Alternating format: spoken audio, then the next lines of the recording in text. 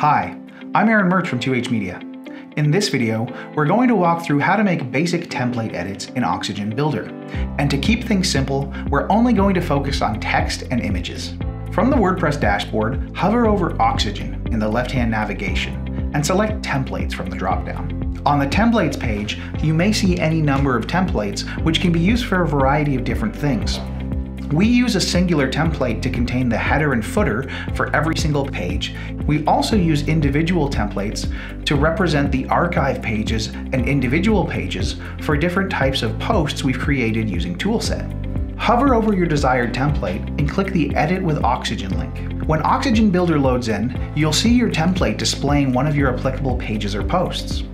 To change which page or post is being used to populate the template, click the drop down in the top left hand corner of the screen. If you try to click on any of the previewed content, you'll see that you can't edit any of the individual page content from this screen.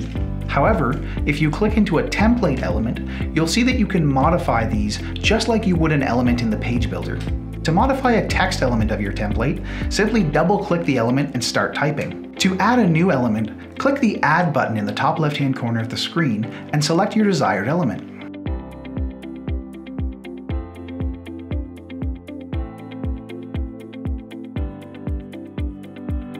Modifying image elements is also easy.